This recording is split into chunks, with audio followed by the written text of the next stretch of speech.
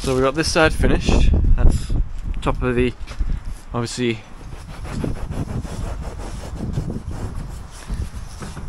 What have we got? bacon and egg. On toast. The uh, starter packs do come in handy for some things. Stick your laser level on. Can you just switch that on please mate?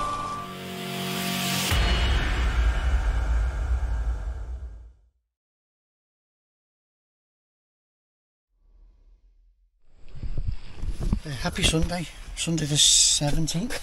Yep. It's a, what is it? A week to Christmas now, or a week to Christmas Eve? Week till Christmas Eve. Christmas Eve a week today. I've had a comment yesterday complaining that um, on the 15th of December the video was only the 15th of October, 5th of October. It's like, yeah, we, we don't do daily vlogs. We, we film our stuff and put it out as, as we do it. Putting two videos out a week, so so just put yes. It comes out when it comes out. We, we, we're not um, date perfect. But anyway, I'll tell you what, we'll do this then. If you want to, if you want to become a member, you can come to our house and watch us edit the video. Yeah, yeah. So customers asked us to move these because they got the drive back. Um, so we're going to take all the dry ones around the back and we honeycomb all the wet ones at the bottom around the back of the skips and that way. That's first job. Um, everything's set up yesterday. Uh, made sure everything was loaded. Lines up, profiles are up. So we're going to blast in the last that wall, three courses and three course block. Spoke to Neil about wall plate heights and stuff, so we know where where everything roughly is now we can get everything up to wall plate height but we haven't got any wall plates obviously because it's Sunday once we've done that we're going to drop it over onto the other side no we're not going to get the block work up first uh, we've got the two brick pillar on the left which we don't need scaffold for that I can take, take that right to the top uh, take the block weight right up to the top from the inside off a hop up and the other side is just a bit of a pillar and a bit of running in to do and then we can swap the scaffold back over to let me think yeah, just to get the corner, the little corner bit. We'll see. We'll see how we get on anyway. But ordering the steel tomorrow morning and seeing when they can get it here. Hopefully, JM is just same as everybody else and having a quiet week, so they can turn it around quick for us. It's a 6B4 angle iron with a 330 plate welded on it, 8mm thick. So you've got your steel for the roof and your flat plate for the brickwork. And then um, I've spoke to Neil about Del Tall Carpenter's method of cladding it with um, HardieBacker because it's it's a good it sticks well and it's insulated so it avoids the well it doesn't avoid it but it helps the cold bridge because of the steel and we'll obviously fill the cavity with insulation as well do as best we can with it so um, that's enough waffling. Let's get these bricks moved and then Alex can get it mixing and we can get cracking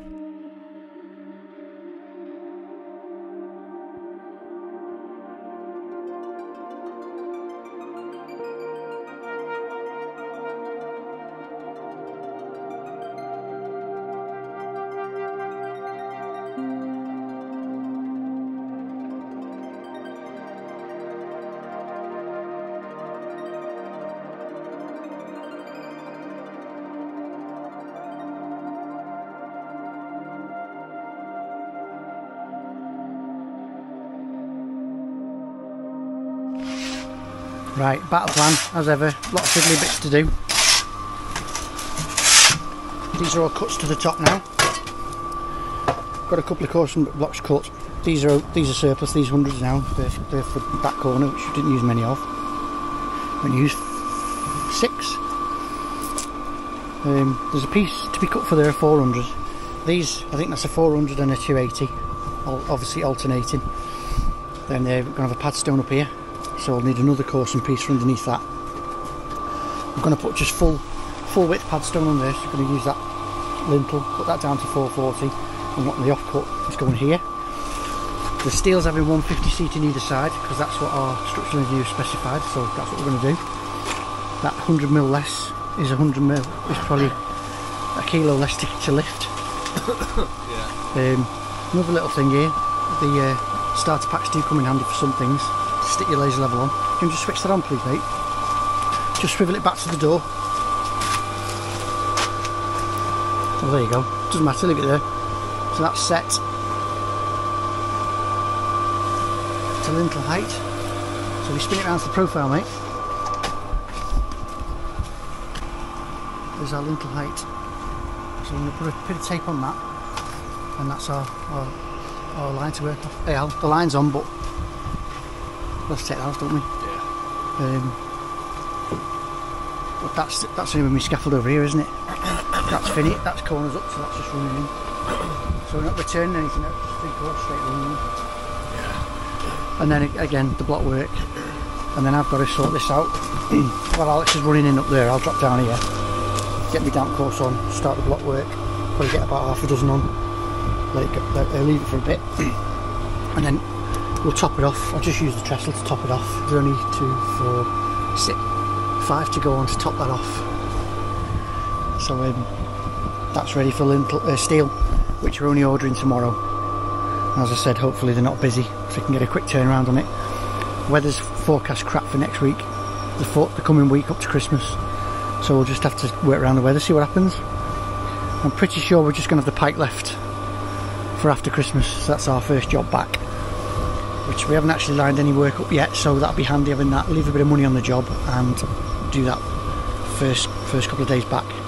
And I think we're not coming back straight back because Alex is going to be in Sweden, so I think we're having a week after, first week in January off as well. So give me give me hip a chance to feel a bit better, not fix itself, but just rest it a bit.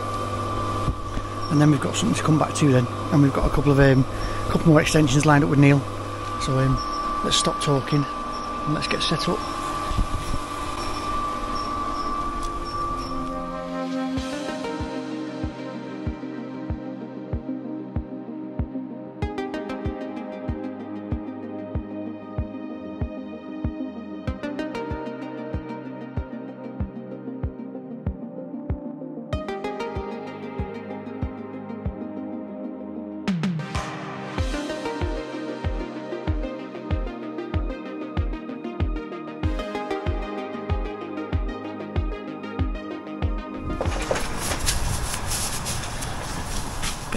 Loading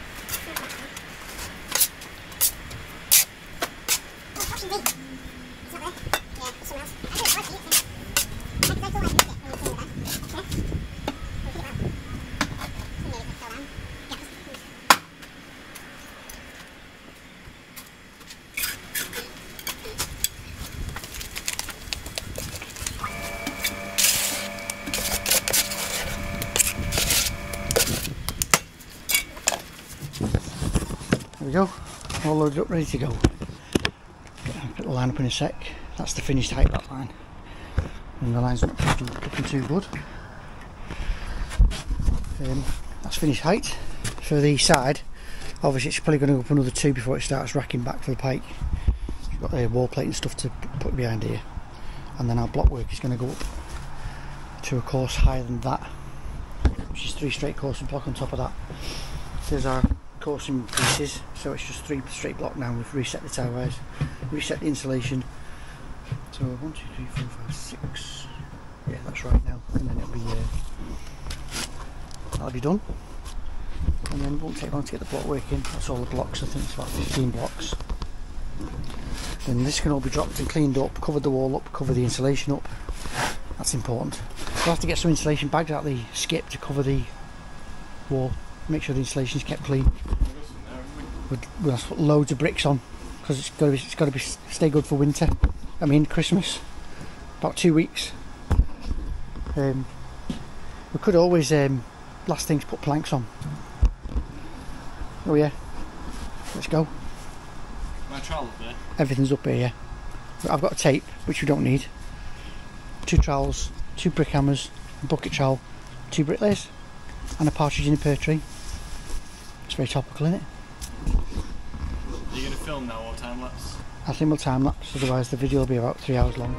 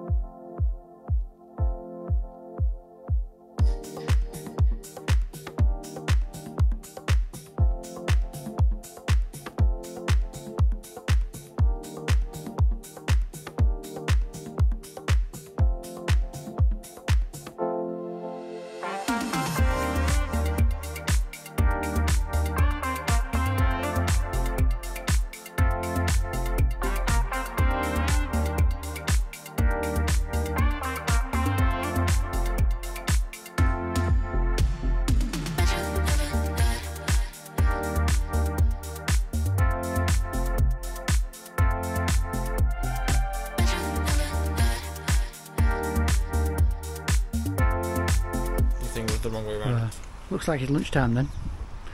What have we got? Bacon and egg. On toast. Beautiful. Mm. I was offered um, fried rice, Mm-hmm. but I'm not hungry today, so I'll, save myself for when I'm starving. So I think I've got all the cuts done for now. That'll get us up to lintel height now. Alex just one, two, three, three and a bit blocks to go, but the uh, the bacon dry, so that's going to wait till after lunch now. Um, so the plan is to get get this up, get that up, get this up, and get the lintel over today. So we're going to come back after dinner, and Alex is going to bring half a bar of sand back, and we're going to put half a mix in, which should just get us where we need to be at the end of today. And then we're not here tomorrow because we're going to order the steel, and I've got to go back and finish a fence job. We have a couple of little bits to finish off on it, so we can get paid for that one. So um, catch you after dinner.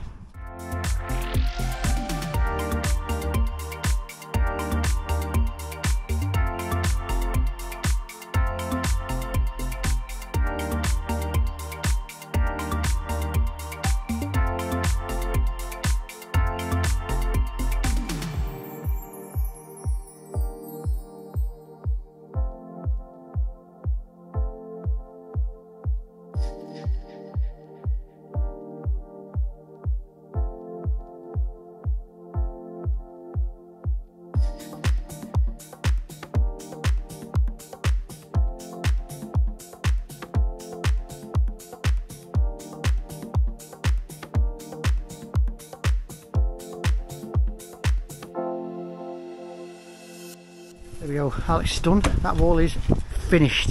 Well, apart from wall plate. So um, yeah, that's finished. So it's jointed, he's going to cover it and he's going to get down. Then he's going to jump work at the front. I've just got the pillar up as high as I can reach it. Um, uh, trestles are going back up there soon, so we don't need to overreach ourselves. I might try and get the face work from the outside on hop ups because we can't stand on the block work now from the inside. So um, we'll muddle around and I'm going to get on this quick. Chuck a load of these on up quick as I can.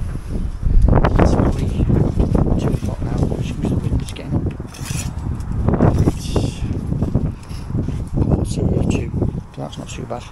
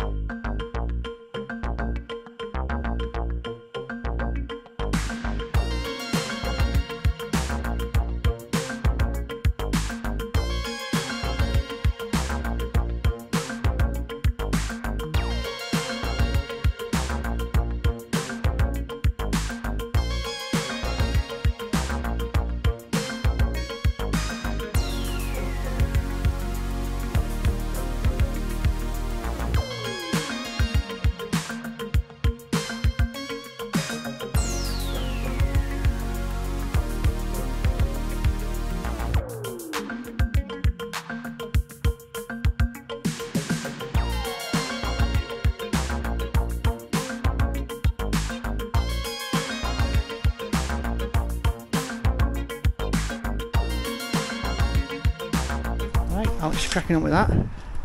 I'm cracking on with that. See, this is the important one. This needs to be up and solid for the steel going on. That's not too bad. If we get the lint on there today, I'll be happy, but we'll see. Um, like I say, this is the main bit. We've got to get this corner up.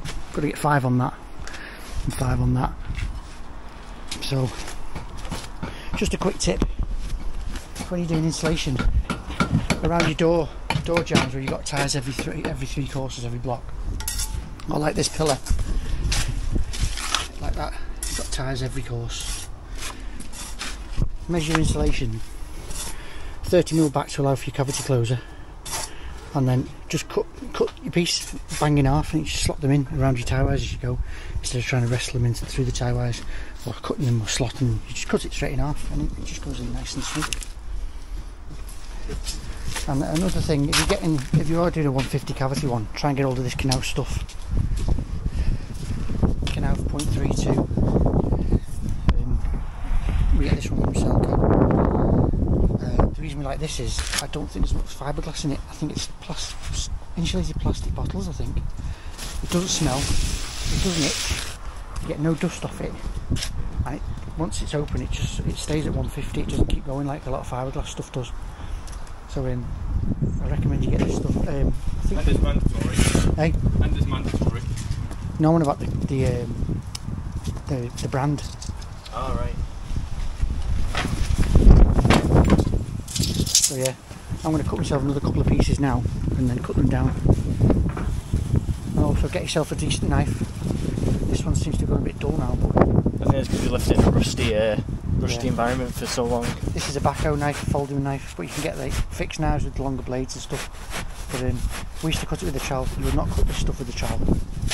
Hated it day one. Yeah, that's the good thing about it. it it's tougher, but it's that it's tough where you'd never get your trowel through it. So we, we gave in and bought a knife. That's, that's a crack at that. Bahco, same as your brick hammer. Swedish made. It should be a good blade. Right, so I'm going to get these cut up and um, put in. It's a one block pillar, so it's 450. So we want it 30 mil back for the cavity closure, so we know we want ours at 420. Like. Too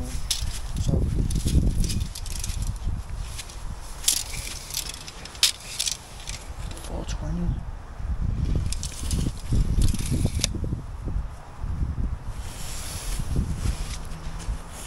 Go in a couple as deep as you can. Put it up. Follow your cut. Twenty. Next one.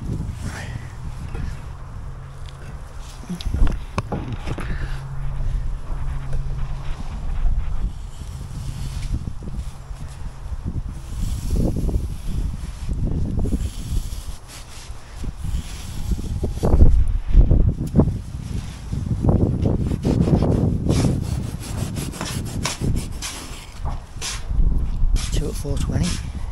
Now two twenty five.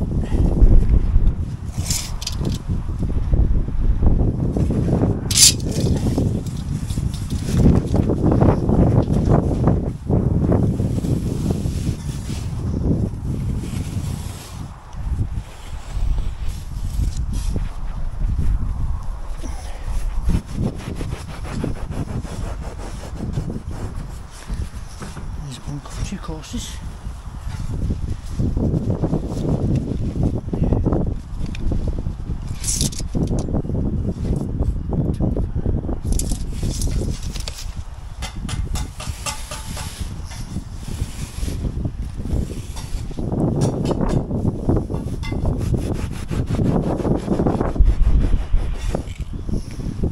There's four. That's two courses. There's the knife.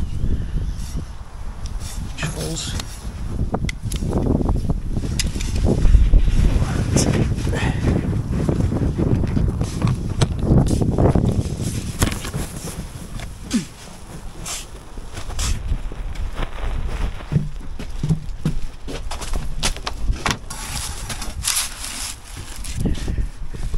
Cut side down, cut side up.